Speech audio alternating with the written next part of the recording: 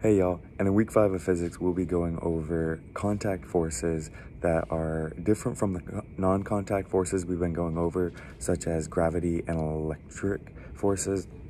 Because in this situation, there will be two bodies in one system or multiple bodies that will be connected in some sort of way.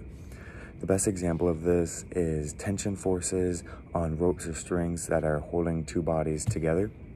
And while a gravitational force or sometimes maybe an electric force will be also acting on the system, we'll mainly be looking at the connection between the two bodies. I'm fairly familiar with contact forces from high school physics. It's kind of the foundation of mechanics, and tension is something I kind of worked with pretty often. Uh, it's a whole unit in high school physics, so obviously I had a decent amount of practice, and I'm already familiar with some of the main principles that force depends on the mass of the system, um, the force being the tension force on a string, such that something heavier will be causing more tension on the string. One thing that I did learn from the videos is that tension is not always in the direction opposite of motion. Uh, they gave an example of a box falling and it compresses, and the way it compresses, it's actually moving in the same direction as friction.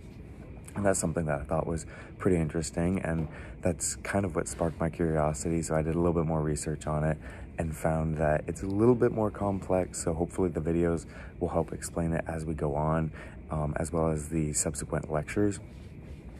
And I thought that this was kind of an interesting unit because it does relate more to biomedical engineering in the sense that uh, when you're including uh, strings for many prosthetic devices and ropes that are required, uh, such that if you're building a device for the arm where a rope is being pulled from here, such as like a shoulder for this joint to mimic it, it's something that's pretty important to know the weights and how much force is required for the weight of this part of my arm and hand, and then um, on the shoulder for how much force is required, and then speeds and all that. And I thought that was pretty interesting. And going back to kind of the friction force, that's something I was never really great at in high school. Uh, I knew how to do, I knew how to plug into a formula, but it's something that I just simply didn't get enough practice with, I believe. And I think that going just on YouTube, finding some worksheets will help me.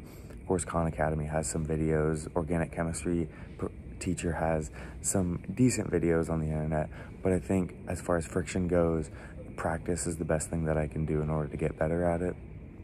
And I think that comes with a lot of other physics concepts, and especially this week with contact forces. Contact forces are something that I think I can grow on, definitely. And as far compared to non contact forces, I believe they definitely have the ability to be a lot harder. So it's something I should practice.